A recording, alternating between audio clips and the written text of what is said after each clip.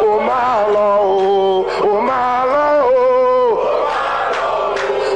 We don't want anybody to use this environment as an excuse to do anything against the democracy.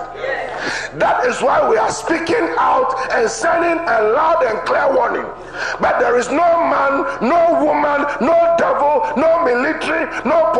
no soldier, no Akufo-Addo that can stop the will of the people.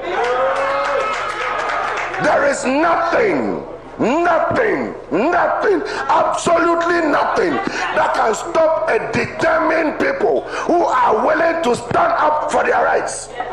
No electoral commission, no Supreme Court, no soldier, no parliament, nothing. There is nothing. There is a movement that is going on. The people of Ghana want change. This government has failed. They can eat all the gari in this world. They can go and drink all the sea in the Atlantic Ocean. Nothing will stop them from going down December 2020. So the problem is not Ashantis.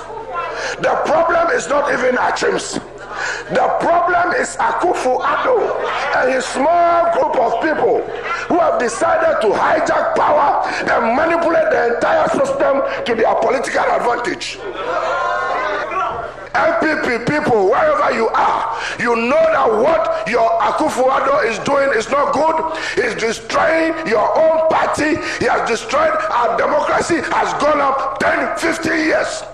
This democracy that we tried to build, Akufu Addo alone with his family, they've taken this democracy back 10, 15 years.